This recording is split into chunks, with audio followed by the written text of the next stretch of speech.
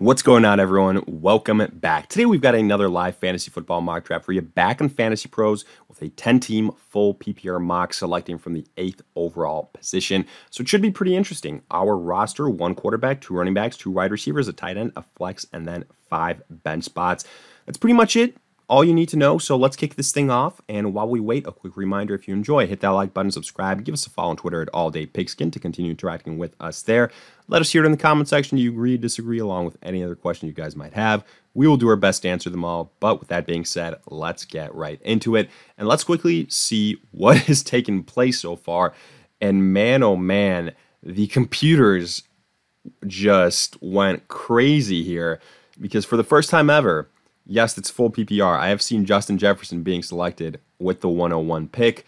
Uh, okay, I, I didn't expect that to happen, and I understand that people love Justin Jefferson, and you know the wide receiver position is kind of making a comeback. But I continue to say running back is king, and I would have taken Christian McCaffrey ten times out of ten, or uh, Austin Ekeler ahead of uh, Justin Jefferson.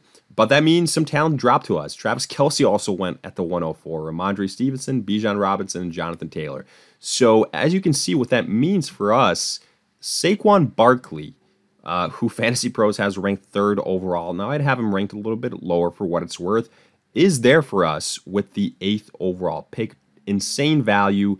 And here I'm going to guarantee that I get a running back. So I'm taking Saquon Barkley, and then let's see what happens in this next round.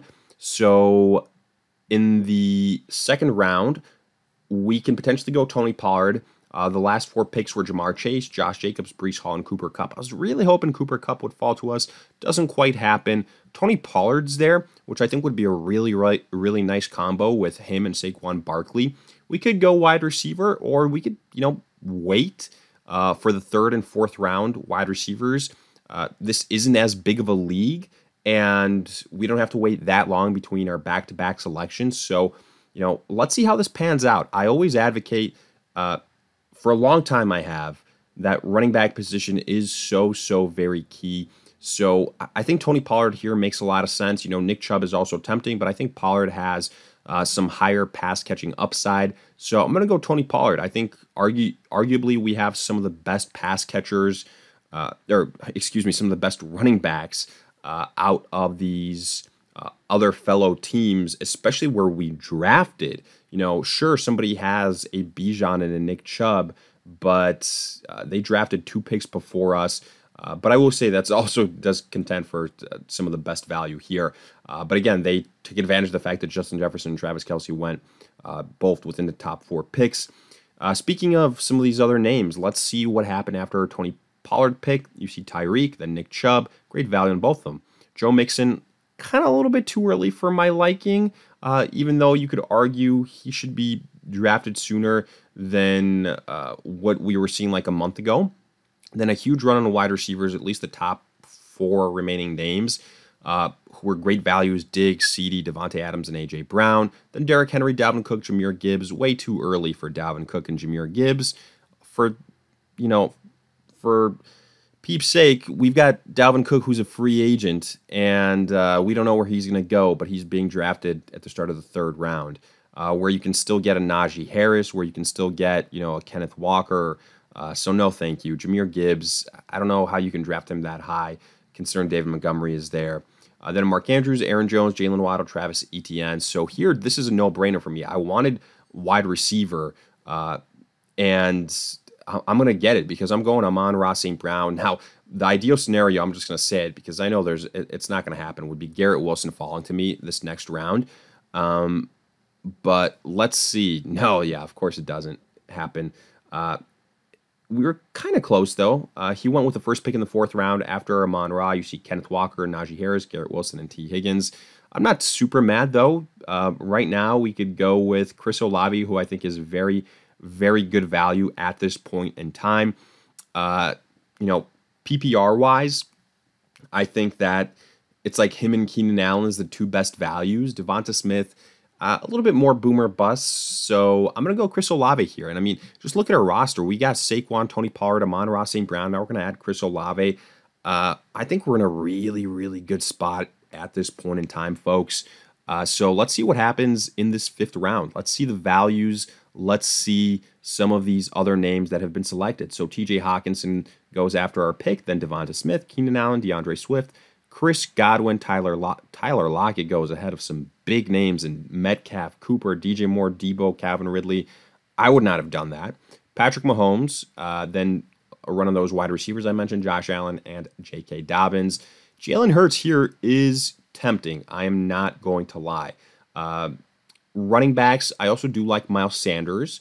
Uh, and I will say, you know, I think we've done a really good job getting our two top running backs, our two top wide receivers. So we can, you know, uh, I don't even want to say reach, but quote unquote reach on one of these premier positions in quarterback or tight end. Uh, I'm more inclined to reach on the quarterback position. I think tight end, we can do some things uh, in the later rounds. We'll see. We'll see if that's the case. So here I'm going to go Jalen Hurts, and then I'm going to go either like Miles Sanders or one of these other really good wide receivers that I like. So I'm going with Jalen Hurts. And now, uh, let's see what happened. So we saw Cam Akers, Jerry Jeudy, Lamar, George Kittle. So George Kittle was off the board.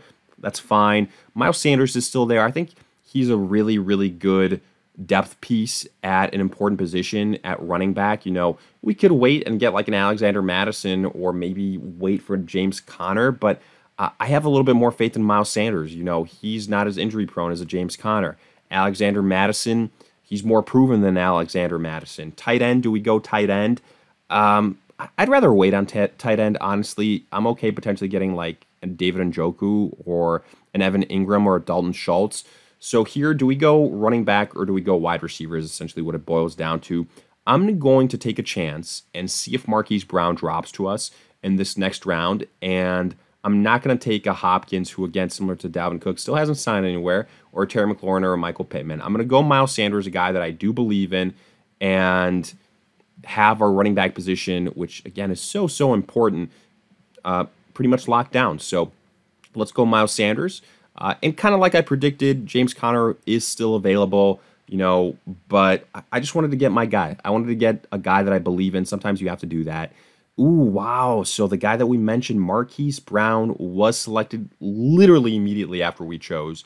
Uh, then Terry McLaurin, Justin Fields, Javonte. So running quarterbacks, Justin Fields, Joe Burrow in the sixth. In the seventh, Justin Herbert, Trevor Lawrence, Deshaun Watson, DeAndre Hopkins, Treylon Burks. I don't know how Treylon, how in the hell is Treylon Burks going ahead of Michael Pittman? That makes zero sense.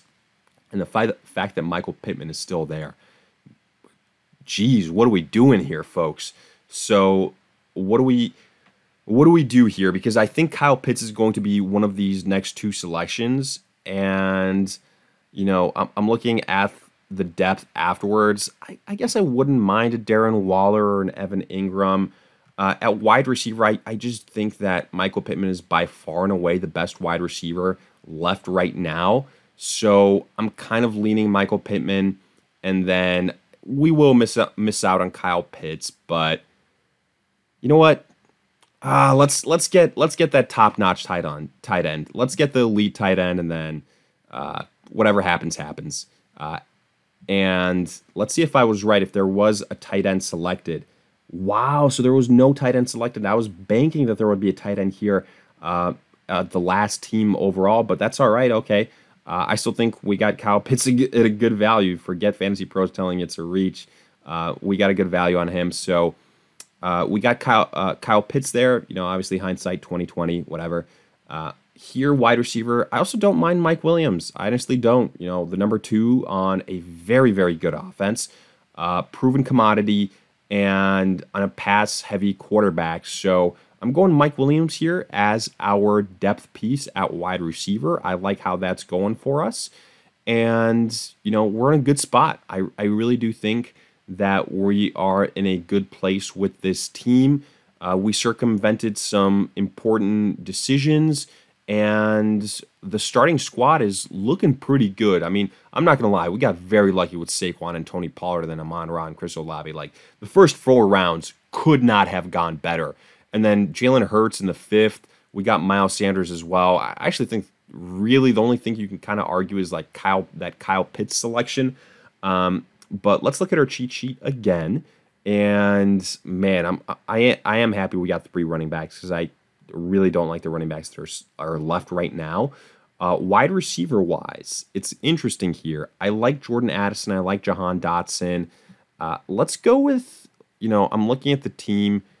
I'm probably going to go with Jahan Dotson first, and then we'll go with Jordan Addison if he's there. He is. I really like the upside with Jordan Addison playing opposite Justin Jefferson.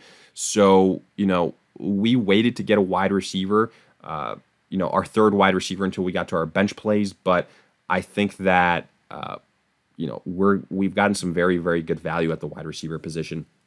So we're gonna make two final selections here and kind of wrap this thing up. But I, I like the way we have kind of constructed this roster. I can also now go ahead and select a tight end uh, as a potential backup to Kyle Pitts in case he struggles again uh, which is definitely a possibility. You know, Cole Kmet is a guy that I liked last year, but with the addition of DJ Moore, uh, I think it's going to take away a lot of opportunities from Cole Kmet. So I'd rather pass on him for somebody like a, you know, Greg Dulcich or even Gerald Everett. Uh, I don't believe in the Tennessee passing attack, so uh, no thank you there. So yeah, I'm going Greg Dulcich here as a backup. Again, we already have Kyle Pitts, so I'm going Greg Dulcich here as a backup, a nice little breakout, his uh, mini breakout in his rookie season last year. So we've got our backup tight end taken care of. Let's see if anything else is kind of sticking out. Uh, I could go a backup quarterback here. I honestly, I think this is going to be our last selection.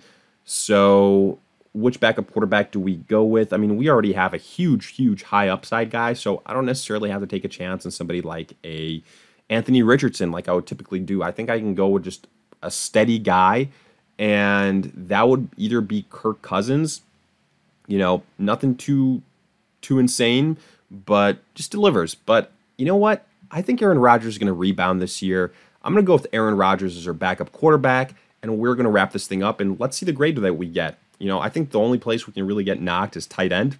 But again, we got some decent depth. Anytime you're in a 10 team league, it's it's tough to not end up with a pretty decent roster. And I think the grade here, the B plus, reflects that. I think the names that we got reflect that. We got a arguably top two quarterback, even potentially number one guy in Jalen Hurts.